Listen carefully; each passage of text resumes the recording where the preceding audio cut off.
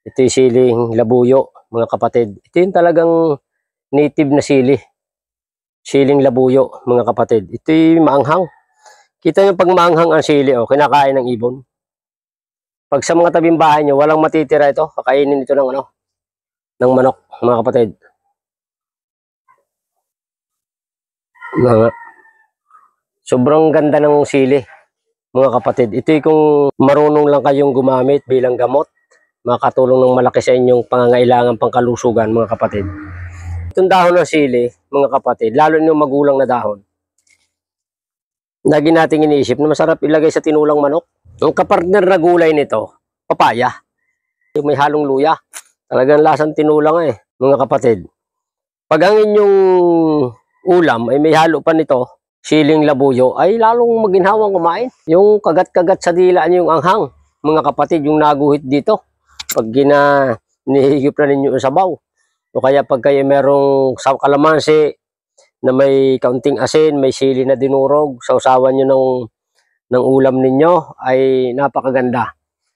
Sa ngayon sa pag-aaral, itong, itong isang ganito na sili, na hinog, ito'y napakayaman sa vitamin C. Ang sabi ng mga mag-aaral nito, pag kumakain ka ng isang sili sa umaga, para kang kumain ng tatlong orange sa taglay na bitamina nito, mga kapatid. Napakaganda bukod sa pampagana ng pagkain, pampalakas ng baga, pampaganda ng function ng ng lining ng bituka, mga kapatid. Pagka ikaw daw ay laging kumakain nito, ang iyong bituka ay magiging malusog. Hindi totoo na ito ng almoranas, hindi po yung totoo. Ang kus ng almoranas yung madalas kang kumakain ng mga pagkain walang fiber. Yung pagkain na mahirap tunawin sa bituka, mahirap ilabas sa puwit. Yun yung, yung kus ng almoranas. Ang hindi po kus ng almoranas ito. Ito yung napakaganda sa bituka. Hindi kayo basta magkaka-almoranas pag kumakain kayo palagi nito. Mga kapatid, yung, yung dahon ng sili, ito, katumbas na halos ito ng karne o higit pa sa karne ang protina po nito.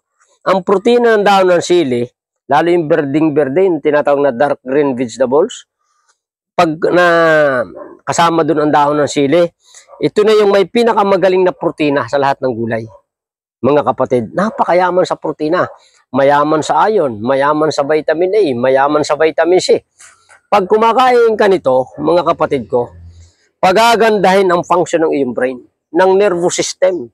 Mga kapatid, yung function ng iyong kuryente sa utak na 10 voltahe, pagagandahin po ng function, ang function na pamagitan po ng pagkain ng dahon ng sili.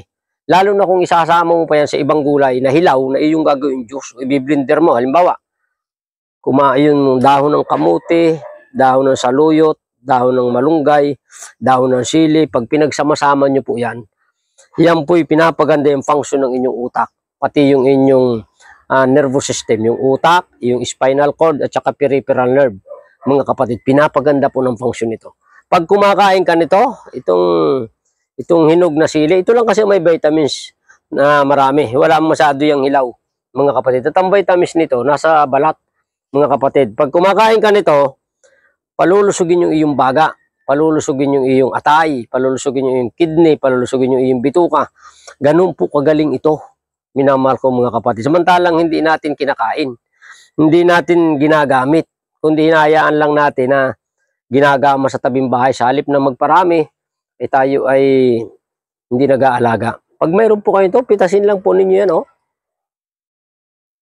Pitasin lang po ninyo yan. Tapos eh, dalhin nyo lang sa inyong bahay, lagay nyo sa bilao.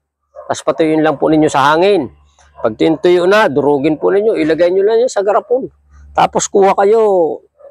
Ay napakaganda ng mga kapatid pag itong magagamit nyo. Kahit araw-araw kayo kumain, hindi kayo mapapahamak. Bagkos po kayo papalusog.